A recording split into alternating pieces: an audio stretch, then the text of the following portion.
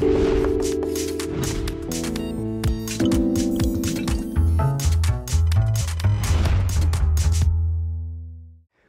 I'd like to say to you today is deceptively simple. It's what our mothers taught us. It's what we learnt in kindergarten. And it's this. When something is difficult to do, it's best that we do it together.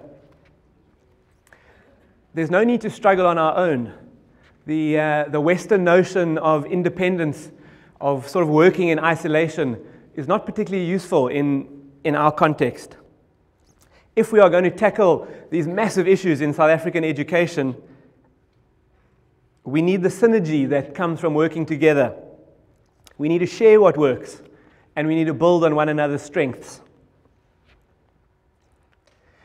Many of you will know this quote. Um, I first came across it in Dr. Ramphele's Dinner King scenarios. Haven't we tried to go fast in South African education? Haven't we tried the quick fixes? and it hasn't been remarkably successful. Our journey is a longer one, and if we're going to get there, we need to travel it together. So let me share my story. Steve mentioned uh, I'm the principal of Claremont High School. We are barely more than a year old. We're the newest math science focus school in Cape Town. And uh, our vision really is to create opportunities for pupils from disadvantaged backgrounds. But the stroke of genius that the education department had, uh, Ms. Penny Vinjevold, who I think might be here today, was to ask Westerford High School to partner with us when we were started. To have an established, well resourced school help and support us as a new school with more limited resources. So, the first level of that partnership is that we've been able to benefit from the structures and systems in that established school.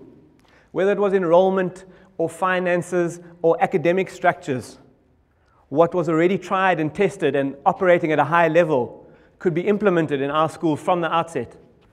And that's meant we haven't had to go back and fix or undo sort of systems that are, are broken and, and not working well at all. Now, we're not a clone of Westerford. We, uh, we're in our own unique context. So we also have to stand strongly and chart our own course where necessary.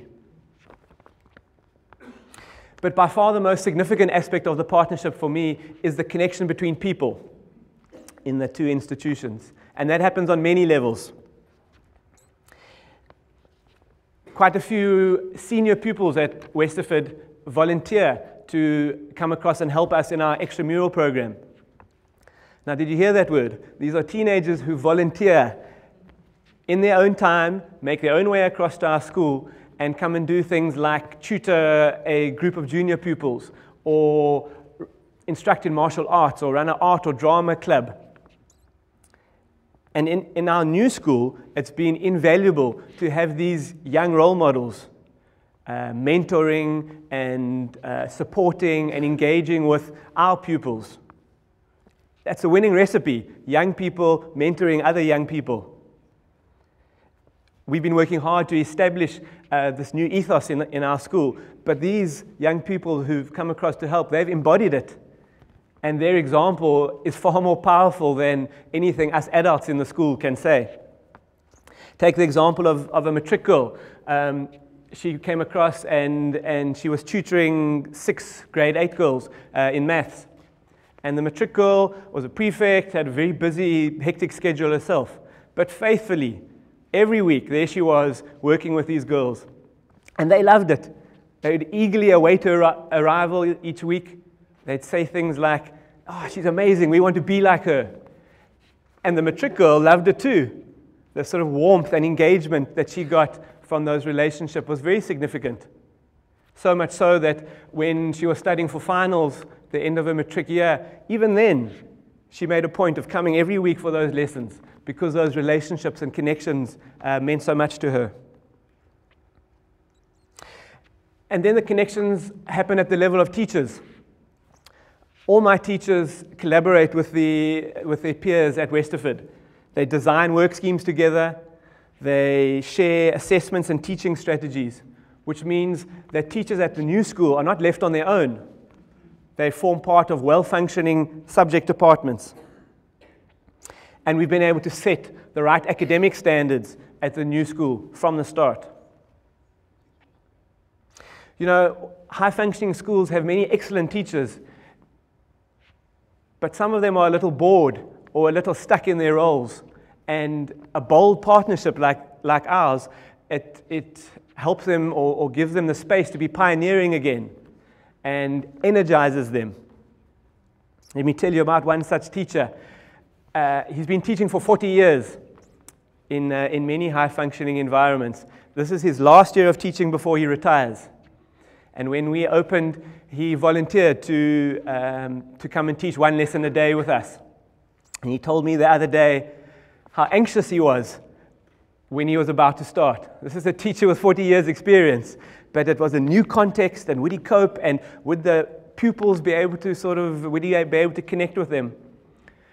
Well, not a day goes by when he doesn't tell me how this has been the best year of teaching in his entire 40 years, and how he's sort of constantly astounded by the warmth and engagement that he gets with the pupils. And it's been significant for me personally, I must tell you. Um, leading a school is a complex role, and at times I find it quite daunting. So for me, it's been so enabling to have the support and uh, advice of an experienced principal, the mentorship. When some new issue comes across my desk and I'm sort of scratching my head and, and stymied, I can, I can get him on the end of, of the phone and get his advice and experience. And when he says something like, Murray, I'm, I'm happy to take on this battle for you if you'd like me to. Whoa, what a sense of relief. Can hand that one over and releases me to, to get on with other things. And lastly, I just want to say how significant this partnership is in our South African context because it's bridging the economic divide. It's the haves and the have nots working together and collaborating. And that's crucial and so healing for everyone involved. There are three of my grade 11 boys who are very clever, so very smart guys. So I wanted to expose them to advanced maths.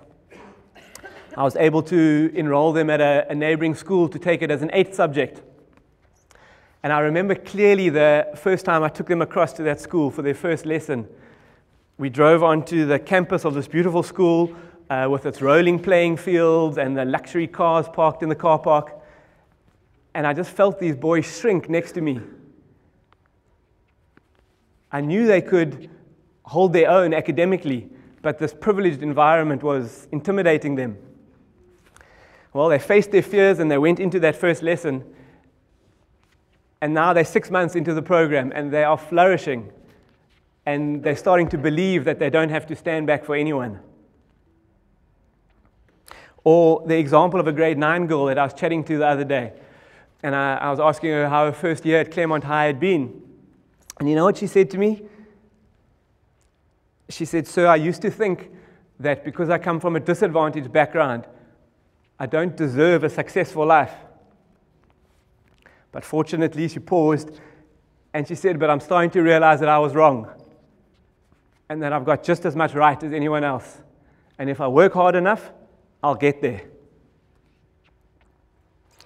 So that's our story of how enabling school partnerships can be.